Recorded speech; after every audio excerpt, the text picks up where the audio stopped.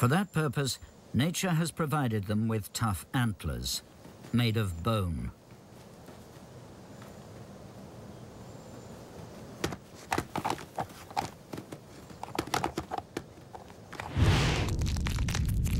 Despite energetic wrestling, broken antlers are very rare. But bone is heavy, so nature is as economical as possible. Inside, bones are partly hollow, but filled with a complex network of arches and spans. This beautiful hidden structure is also elegant engineering.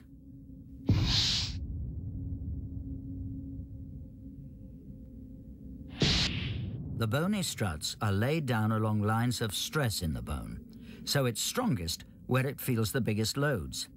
It's as strong as it can be, but using the minimum of material. Even our own skeletons can be a source of inspiration.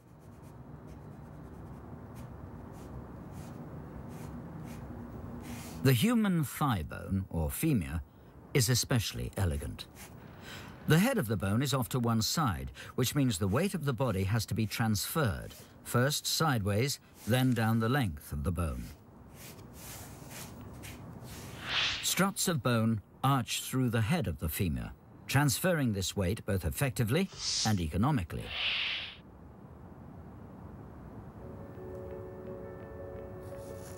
And architects realized they could apply exactly these principles in constructing tall buildings.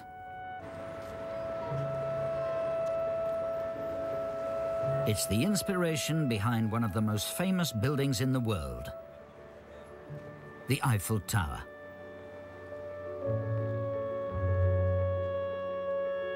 Gustave Eiffel used the structure of the human thigh bone in building his 300-meter tower, the tallest building in the world until 1930.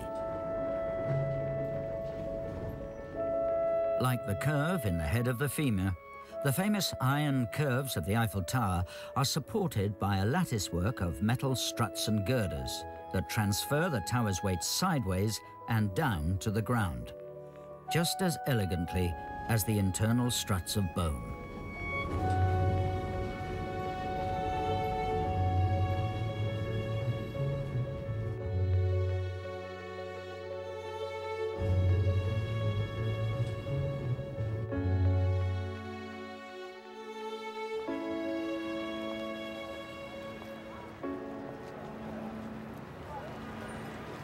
In recent years, more and more designers and engineers are looking at the way nature builds bodies and getting inspiration for everything from new bridges and buildings to cars.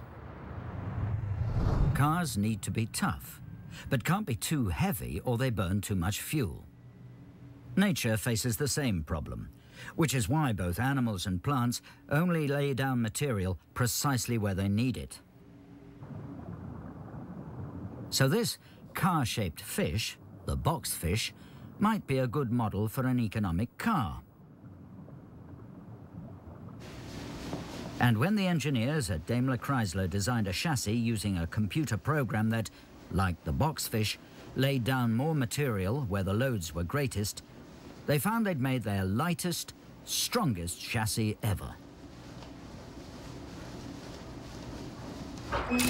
For vertebrates, like fish, mammals and birds, the skeleton gets its strength from the material of bone and the way it's constructed.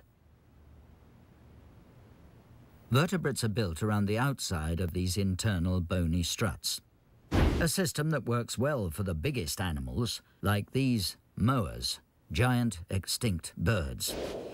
But there are other types of skeleton. Insects are the other way round. Their skeleton is on the outside, an exoskeleton.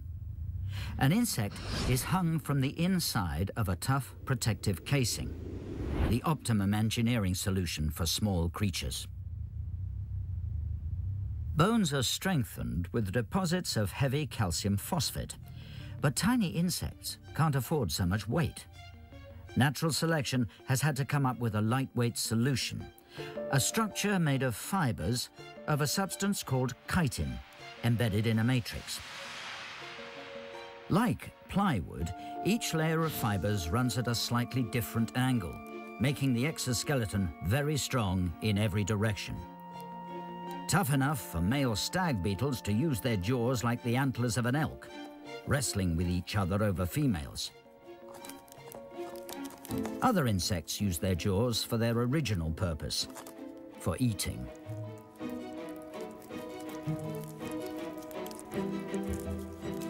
Locusts eat grass, lots of grass.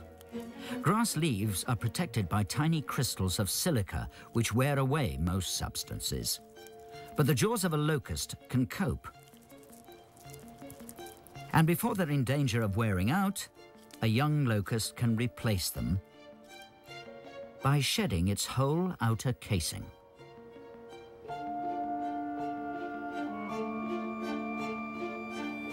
Insect cuticle is remarkable stuff. So what can we do with it? First, we need more than we can get from tiny insects. But on the east coast of North America, a huge supply of chitin crawls out of the water onto the beach every spring. Horseshoe crabs are not insects, but neither are they crabs. They're primitive creatures related to spiders that have swarmed onto beaches to spawn like this for hundreds of millions of years. But like insects, their shells are strengthened with chitin fibers. They were collected for their shells, but over-collecting has reduced their population. Not a good way to work hand in hand with nature.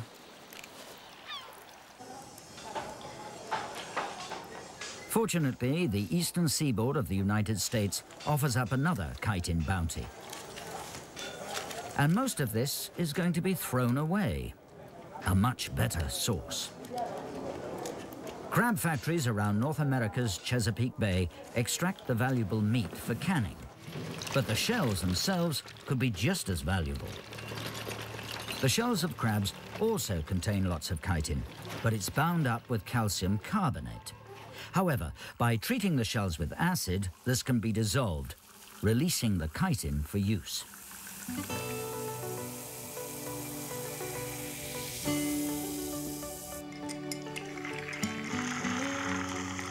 By purifying the chitin and chemically altering the fibers, a substance called chitosan can be made. In its purest form, it's used to make contact lenses, skin creams, and wound dressings.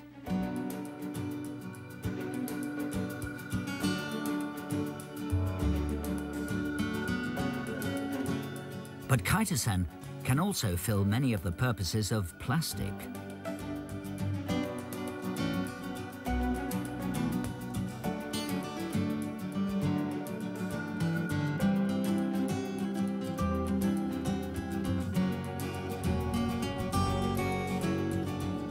And even better than plastic, it's biodegradable.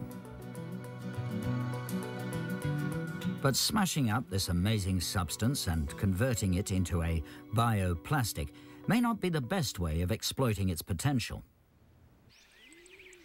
An insect's exoskeleton is a marvel of microengineering and almost endlessly versatile. It can be shaped to resemble a leaf with amazing accuracy, living or dead.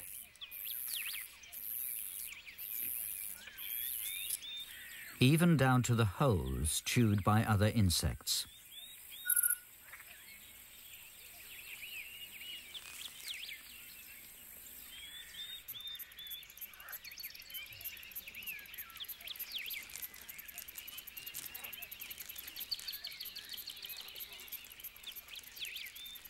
The level of detail is extraordinary.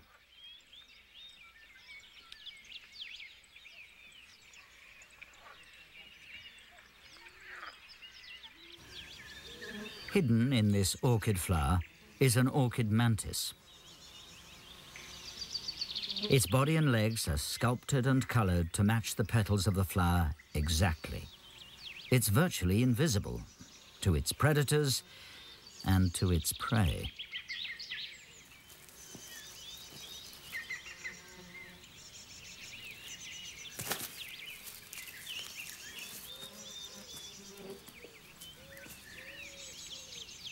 But look even closer, and the insect's body armor is even more astounding. Molded and shaped with microscopic precision into a huge variety of shapes. And it's not just there to admire. Each of these microscopic landscapes has a job to do. These tiny bumps cover the body of a beetle that lives in the Namib Desert. In this parched desert, it hardly ever rains, yet beetles seem to flourish here. Their only supply of water is the fog that rolls in from the ocean every morning.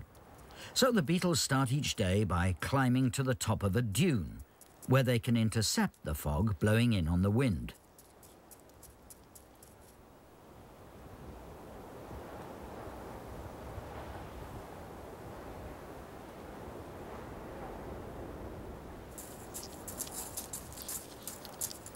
Those microscopic bumps help water condense on their bodies.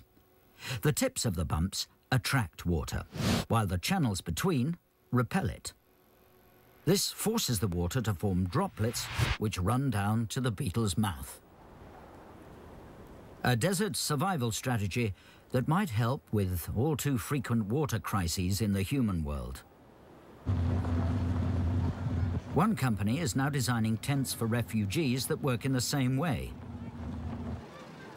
These tents could condense water from the air each morning, even in areas where groundwater is in short supply. In this case, understanding how a desert beetle lives could make all the difference between life and death for these people. And all this comes from the extraordinary design of insect skeletons. Yet this whole complex structure is shed and replaced every time the insect molts, which seems something of a waste.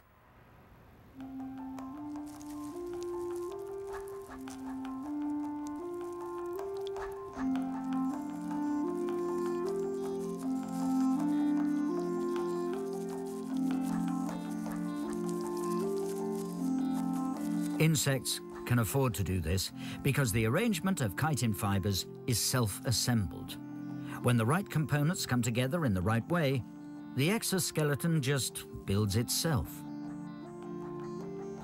And this kind of self-assembly process is very interesting to biomimetic engineers. Crystals are a simple example of self-assembling structures. The final shape of a crystal is not due to some elegant overall design. It happens because the atoms or molecules naturally come together in a lattice that, as it grows, results in these familiar shapes. More complex molecules can self-assemble into more complex shapes.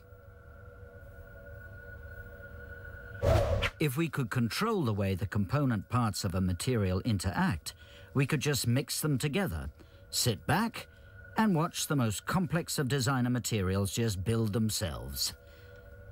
Impossible? Nature does it all the time. One impressive example can be seen off the coast of California.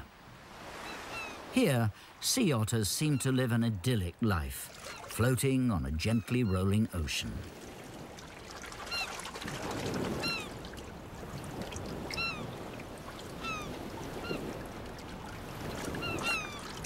And when they're hungry, all they need to do is dive down to the ocean floor and pick up a tasty shellfish.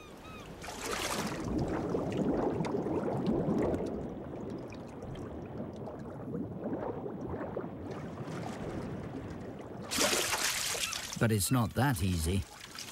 Shellfish have tough shells, so tough that sea otters have to resort to a clever trick.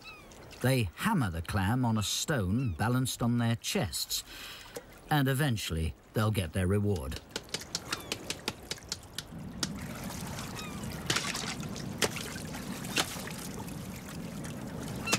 As smart as the sea otter's trick looks, it's the discarded shells that are really interesting. Why